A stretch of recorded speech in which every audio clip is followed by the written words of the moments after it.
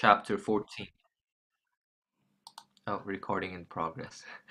Uh, okay, I am talking from Matthew chapter 14. Um, and in this chapter, there, there, there are, as we continue through our reading um, through the book of Matthew, this chapter has three very beautiful stories, right? Um, um, we, there are three beautiful stories within this chapter, and I hope that we can take something out of um, each of these stories at the end of today's uh, sermon. Um, yeah, and so I really believe as I was preparing this that God has something for everyone. Um, I'm just here to bring the message, but I really believe that even if one of these stories um, resonate with you, even if one of these stories, um, you know, strike a chord with you, that you would be able to take that back to God and you'd be able to think about it. So we we see that in the story, the first story that it talks about is when John the Baptist is beheaded. Um, if you read the first first part of this book of this of this chapter, sorry, you will see there is the scene where Herod has captured, Herod has put John the Baptist under arrest, um, right? And he has put him in prison. And the reason why uh, John the Baptist is put into prison is because Herod had unlawfully taken his brother's wife. Okay, it's not like his uh, Herodias is is the name of the woman, um, is is his brother's uh, wife that he had taken for himself, and it's not as if she was a widow that it was lawful for him to take her, but um, he had taken her unlawfully and made made his brother's wife his own wife, and so here it starts with with the sin. The king, there is a king who is living in sin and what John the Baptist does is he, he confronts him. He confronts Herod and says um, that it is not lawful for you to have her. So he confronts Herod and he tells him of his sin um, and confronts him with the truth. And it is because of this that Herod is kind of aggravated and and Herodias, um, the woman whom he has taken for his wife, is also aggravated, and they put they put him in prison. Um, and later, what happens is in the story, uh, as we know, uh, you know, Herodias' daughter um, performs a dance before Herod and his guests, um, and Herod, in his excitement, says, "Like anything you ask for, I will, I will, it'll be done for you. I'll, I'll give it to you." And then um, the daughter, under the influence of of Herodias, her mother says that I want John's head, and so he goes and, and he beheads John. Um, at first, he doesn't want to, but because he's scared of the guests around him, he goes and beheads John. So that is what we see the story start with, right? Um, yeah, this is what we see the story start with right now. Oh, sorry. Right now, I'm getting a lot of uh, pings and requests. I don't know if I'm the host, but uh, so anyways so this is where where the scene is starting with. Now what we can what as i was uh, looking through this what, what we can see clearly is um, you know there is there is in this story essentially there is two kinds of fear right? On one side there is herod who lives under the fear of man um, and is driven by the fear of man. And on the other side we have uh, we have John the Baptist who who is driven by fear of God, um, and um, yeah, even as we go through this series today, today's topics are mostly about fear and courage. Um, but I really want us to look at this: is that Herod he he already is living in sin. He's compromising, um, but he's also someone who is he is as in this passage is shown that he's somebody who is wanting to really please his people, right? Um, wanting to please his people. He's afraid of the people. Um, even when he makes the the promise of like giving Herodias' daughter anything she wanted out of like you know his happiness, um, when she says that oh she asked for John's head he's actually he's distressed in his heart. He doesn't want because he knows that it is wrong. But he yet he does it because he's like given that oath before his dinner before his dinner guests all right? And he's driven by fear of man. He's driven by pleasing people. He's driven by trying to keep everything in control everything under his power.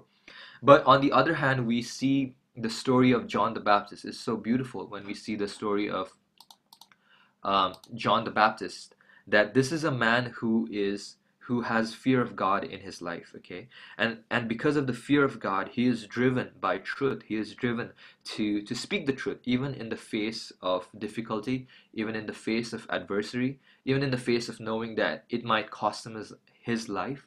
Um, he still stands for the truth.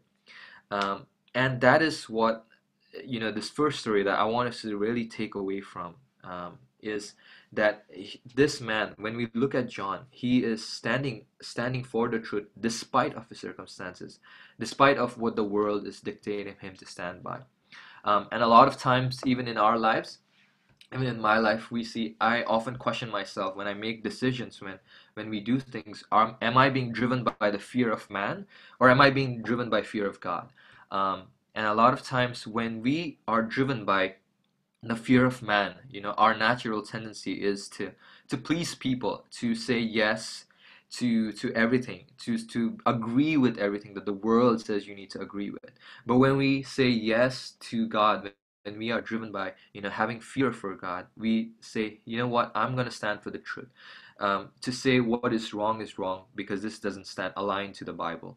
Um, and yeah i just wanted to encourage us that often in times uh, whether it's in our work or whether in our personal lives, uh, we find ourselves at this juncture of giving to fear of man or to fear of God. Um, yeah, let us be able to look to Jesus to stand for His truth. Um, even in today's world, when I look around, even when I read articles, when I look at even Christian videos, even when I hear sometimes Christian people talk, um, you know, and if it doesn't align to the truth, if it doesn't align to the Word of God, you know, God is sort of like as I grow in my relationship with God, He is He gives us courage to say, you know what, thank you for sharing, but like you know, this is what um, I agree with, or this is what I disagree with, and to stand for the truth is sometimes often a rare commodity in our world today. Um, because if you if you look at if you look at how our world is being driven, um, a lot of it is whatever makes you feel good, whatever makes you feel right is right for you. Uh, you know, whatever you think is right is right for you. But actually, that's not. What is right for us is what the Word of God says, what the Holy Spirit um, says, and how it aligns to the Bible. We know that the truth is found in His Word. Um, and so, yeah, I just wanted to encourage that, that regardless of what the world says, that we, we, we would be people who would be standing for the truth. Um, that's the first story that's going on over here. Now, the second story is about Jesus feeding the 5,000. Um, we will get to that towards the end. Um, I wanted to share a, a, a quick testimony of how um, it's sometimes, like in, in my own life, this played out recently. Uh, I think me and Michelle, we were going through uh, over the last one and a half months or two months, we were going through quite a crunch period for our finances looking ahead for this year as missionaries and and we had been really been like you know waiting on on certain uh, people who partners who have partnered with us to to say yes and to know their decision to go on. Um, and you know there was a time of worrying because it was a it was a long time that we had been waiting uh, but we there was a time when we actually came together and we said, okay, what are we going to stand on? Are we going to stand on, you know, our fear of finance, or are, are we going to stand on the truth of God's word that God is our provider? He is our Jehovah Jireh, and He is going to provide. And we actually came and, and we fasted for a number of days, and and you know, and we just said, God, we we look to you. We don't look to man. We look to you. Um, you know, and God took care of us, and God brought us out of that place, um, and He provided for us. And so that is something that that we often have to often choose to do in our own day-to-day lives is whether we want to look at our circumstances or whether we want to stand for the truth of what God's word says. Okay, the next story that I want to talk about before we go into uh, is actually the third story is the story that Jesus walks on water, and we all know this story, right? We all know this story that um, you know after feeding the five thousand, he sends the disciples away um, at first, and in a boat, and the disciples are are going across uh, across the Sea of Galilee on a boat, and suddenly there is um, huge winds and, and storms that come, and it starts rocking the boat, and then it's and in a distance they see Jesus walking on the water, um, and they first at first they think, oh, um, it's it's a ghost, but then Jesus says, "Do not be afraid, it is I." Um, and then he and then Peter uh, says, "If it is you, Lord, then can I, you know, like can I come and walk on the water with you?" And Jesus says, "Yes." Peter comes, walks on the water, but then he looks at the waves, um, and then when he looks at the waves, he starts drowning, and God pulls him out. You know, and then God gets into the boat with them, um, and the disciples fall on their faces and, and they worship him. Um, so this story is something that that is that is well known to us um, all, you know, and it there is something beautiful inside of the story. Uh, I when I was preparing this uh, for this message, this story, I actually looked up a lot of videos on Sea of Galilee. Like, just like, is it possible to have like waves and storms in because of Sea of Galilee? It's not a it's not a real sea. It's more like a lake. Okay, if you if you look at the map, it's more like a it's more like a big lake. Okay, but it's not a sea. So I was thinking to myself, is this how how will this Sea of Galilee have storms and everything? Because it's like, and it's very below the sea level, so it's like in a valley of depression in that area. And so it is, is it possible? And then when I researched it, um, I actually came across videos. Um, there was one particular video in which was recorded in 1992, which had like technically recorded the most like stormy sea, uh, sea of Galilee scene. So like the waves as high as almost 10 to 15 feet um, were crashing onto the shore. And I was like, that is crazy. That Sea of Galilee. And I'm like that. And when I think about it, like if that is recorded then then you know i was and that i was just looking through all of that and i was just thinking of like trying to put myself in in the time frame of when the disciples were with jesus um this story, uh, to explain the story, I'll kind of share my testimony, and maybe that will be helpful for us to follow along.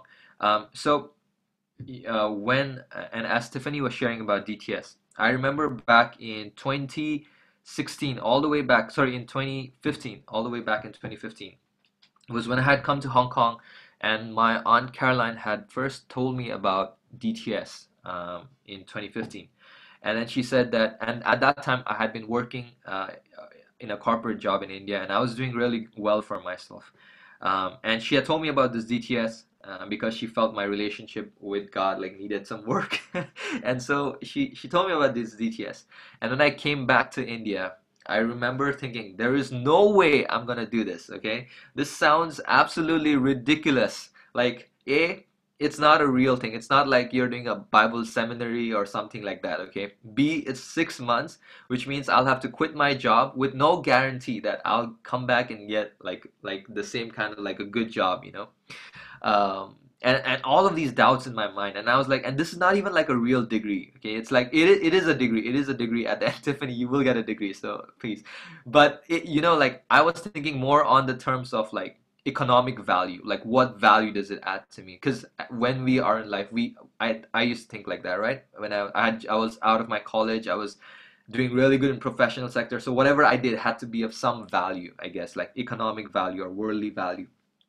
And all of these reasons in my head and i was just like no way. There's it's not a bible seminary it's nothing da, da, da, but i felt it kept tugging on my heart. For some reason it was like god kept calling me and there was one time um, he spoke to me through this passage. Uh, and when I was uh, contemplating of doing, and I was praying, and as as I asked, like, okay, God, I can't get this out of my mind. Why do you want me to do this? And I I I kept going back to this passage, and I I sort of like you know saw a vision where instead of Peter, it was me inside of the boat, you know. Um, and I and I always share this in my testament. It was me standing inside my boat, and I can see Jesus on the water, and I want to walk with him on the water, but at the same time, I don't want to leave my boat, you know. And it was at that time I realized something very, very beautiful from this passage. Actually, is what is our boat? You know, what is our boat? What makes up our boat? Um, for me, uh, what made up what made up my boat was my educational qualification. Um, you know, my plans for my life, uh, my salary, my job security, the reputation that I had uh, with my family in my village because I had such a good job, um, and all of that. Like that was my boat. Now, please hear me out when I say that this does not mean that today we all quit. Like God has given us jobs for a purpose, but this is specifically for me. But God was showing me that I had built up like this boat in which I was safe. I was I was comfortable, and I was um, I was okay to do life in. You know and all of these things like my qualifications, my salary, uh, you know, my reputation, and all of that. And I was unwilling to step out, even though I wanted to uh, walk on the water like Jesus, but I was so uh, fearful of, you know, like stepping out. Um, and this went on for quite a long time, for around two, two and a half, three months, where I kept wrestling with this, and and I finally one day I said, "Okay, God, I'm I'm gonna follow you. You know what? I I surrender and I follow you." And I I can tell you honestly, that was one of the first times in my life where I actually did something without a plan B. I'm, I'm a sort of person who always, and I don't know if I'm sorry if I'm speaking to the crowd, but you know, as people, we always have plan A. If plan A doesn't work, plan B. If plan B doesn't work, plan C. If plan C doesn't work, then I don't know what, right? We we have sort of tiers subconsciously in our mind as what to do. And this was the first time in my life where when when I said yes to doing a DTS and I said yes to going a totally foreign country, you know, quitting everything that I had set up in India so nicely and you know, leaving all of that, it was like, yo, I'm actually stepping out of my boat and I'm, I'm you know I'll I'll try to walk on this water, um, and um, yeah, it was the first time. I actually like I I didn't have a plan B, and I I just stepped out and and here I am with you today. Um, what six years, almost six years later, sharing this word with you. Um, it, this this sharing this time of sharing this time of sermon uh, would not have been possible if I hadn't said yes and I hadn't stepped out of my boat uh, and all of the great things that God has brought. And it, it is not uh, like now that I see, it's actually like it's. I don't see my missionary thing as a job these days. It's more like you know, it's like a. It's it is like a privilege for me to be able to to walk with people, to be able to see people like Tiffany come in. Like I've like over the years that I've been in YWAM, man, I've seen so many students like Tiffany and all come in, and their lives have changed drastically. And you know, God is speaking with them. God is revealing and it's so beautiful to see that um, you know and so and yeah and so that is what i wanted to to share with you is is is what is your boat made of? What is our boat made of? And it's not like now that i've taken a step out of my boat now i'm like constantly walking on water. No we still i still have to look back in my own life um, and constantly ask ourselves the question what is the boat that that i'm in right now? What is my safety zone? You know and to be able to ask ourselves that question um, you know what is what is safe what is comfortable for us what keeps us in fear of stepping out and following jesus um, and it might be different for different people but it is good to ask ourselves that question um, and yeah and whether that might be fear of loss whether that might be fear of the future whether that might be fear of current circumstances with covid and everything um, you know god is God is there. God is on the water. Even on the water, like you are, he he he is like Peter is able to walk on the water. You know. Um, and so that is the question that I want to leave us with. What is your boat? Uh, what is the thing that you're holding on to? What is the fear that you're holding on to?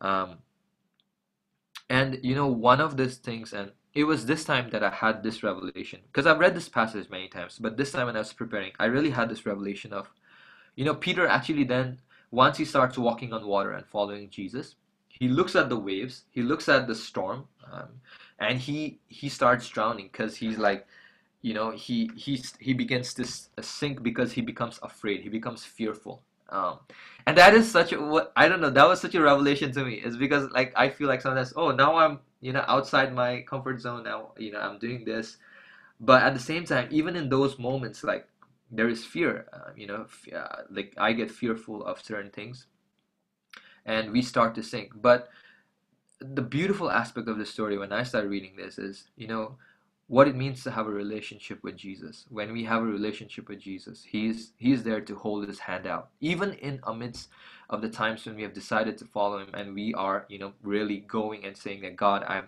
i'm, I'm gonna follow you. I'm holding on to you for everything. Even in those situations we are human beings. Um, even even when we are all gung-ho for jesus you know we will have failures. Uh, we will have disappointments. We will have areas in our life where we might fail we might be weak at but i just saw the beauty of when i was reading this passage the beauty of having a relationship with god is when we have a relationship with God, even amidst our failures, even amidst our most difficult times, even when we are sinking, whether it's sin, whether it's struggles, God is there. He's holding his hand out and he's he's he's going to pick us back up and he, we have to reach out for him and he is there to pick us back up again.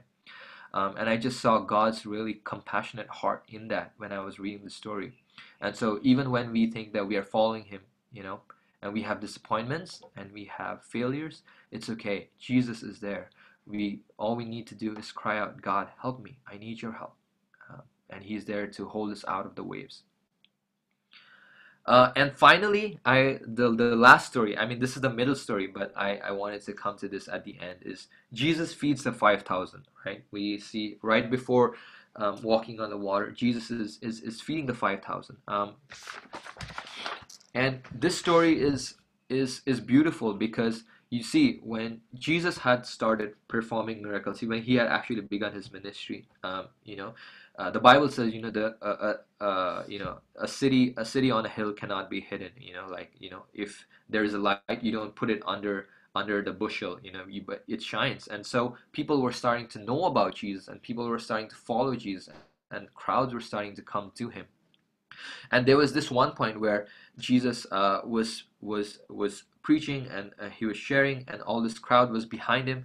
Um, and uh, towards towards the evening, what happens is the disciples um, are like, "Hey, so the they send them away. You know, could you send them away so that they can go and buy food for themselves?"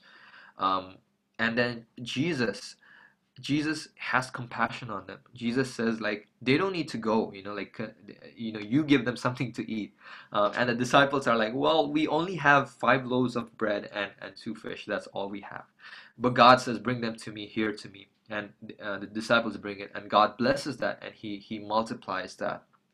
Um, and then even at the end, you know, there were many leftovers. There, there were like 12 basketfuls of leftovers. Um, and it says that like the number not counting the women and children were about 5000 um, and so god provides god does this amazing miracle of multiplication um, even when you know the circumstances didn't suggest that there was enough food for you know all of these people.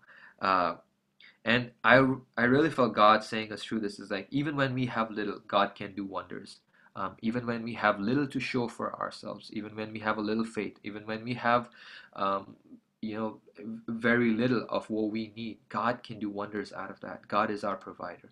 Um, and I really felt Him saying that He is our sustainer. He is the one who, who sustains you. He is the one who sustains us um, throughout these times. Um, and the beautiful part is that He is a provider who is compassionate. Um, he provides his provision um, and his providence is also driven by his compassion and his love for us uh, as his children.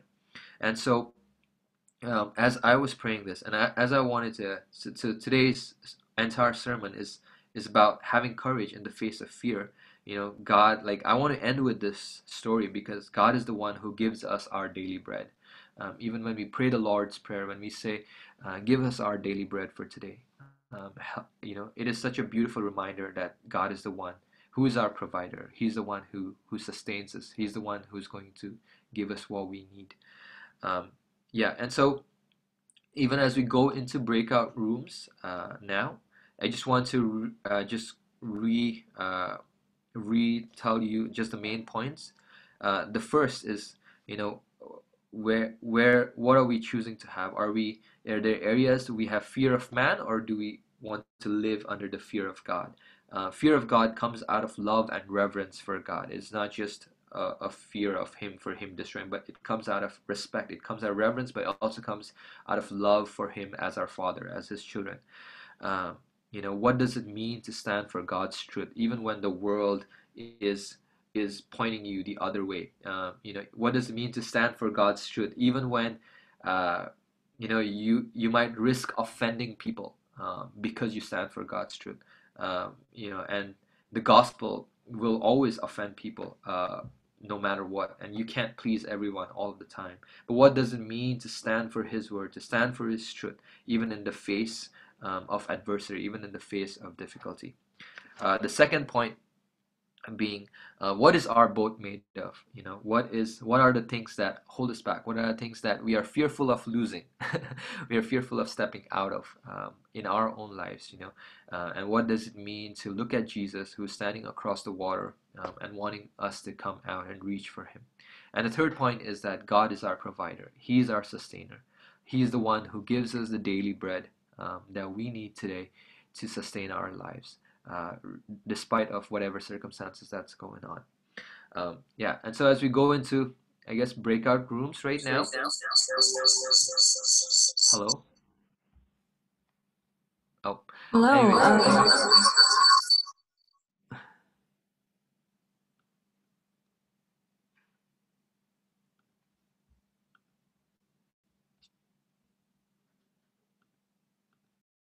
okay. sorry, will we?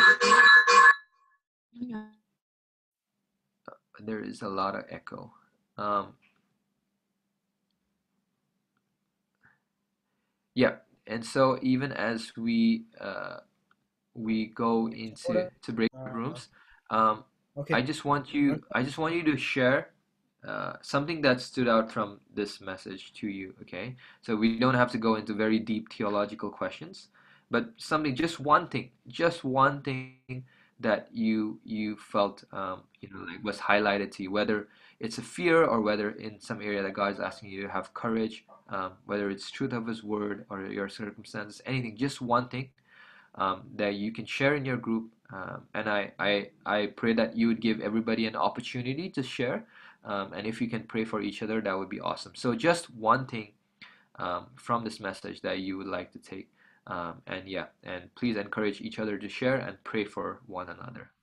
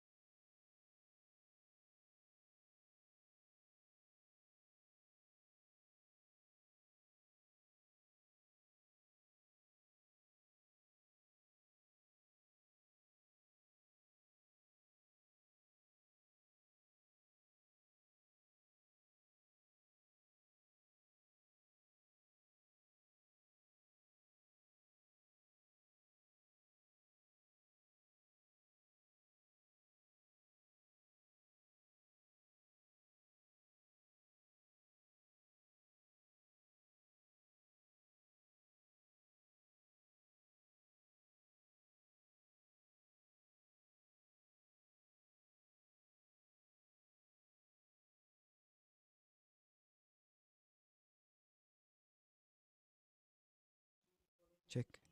Hello, check. Hello.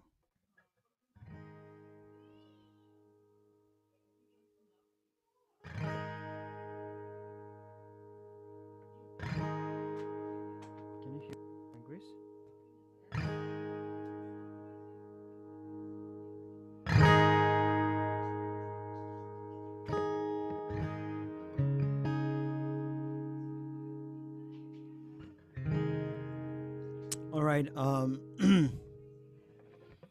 the rest are they already in?